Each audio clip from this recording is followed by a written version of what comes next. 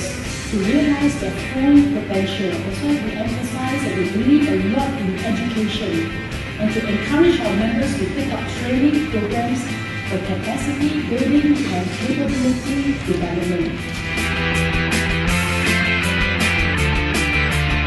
Remember, getting the award today is a responsibility when you come on stage. When I shake your hand, uh, it is not that I'm congratulating you. You are promising me that you will fulfill your responsibility. Whoever is on stage, uh, take. Uh. reason why I think this award ceremony is very, very important. We could have just given it to you, but we want it to be a ceremony. We want a commitment from you that you will fulfill your responsibility.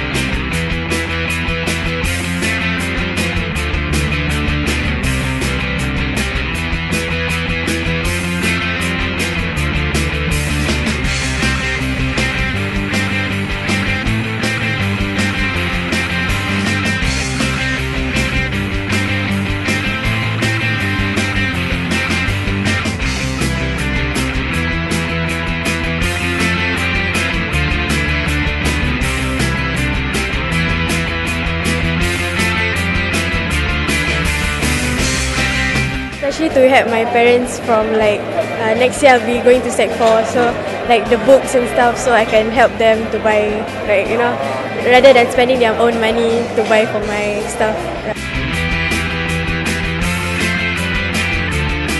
Uh, because just now I saw one of the recipients who was a scholarship uh, who get six A's for their O level. And it really like motivates me to do well for my O level as well.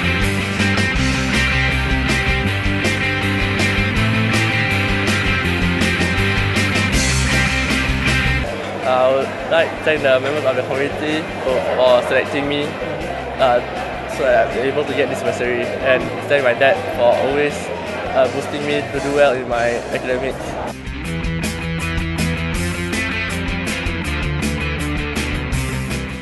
Uh, ever since my eldest daughter uh, has been in primary one, it was about uh seven years ago. So we've been, uh, getting help from SMOU and NTC. Getting, uh, I like, I really like to thank uh, SMOU for giving us these opportunities uh, uh, to, to help um, my families and to upgrade themselves. This is quite actually fantastic and it's a good way of telling the students that you study, we are here to take care of you, to support you. I mean, you put your best efforts and uh, we make sure that we support you. So it's quite a nice thing what SMU and Wavelink is doing.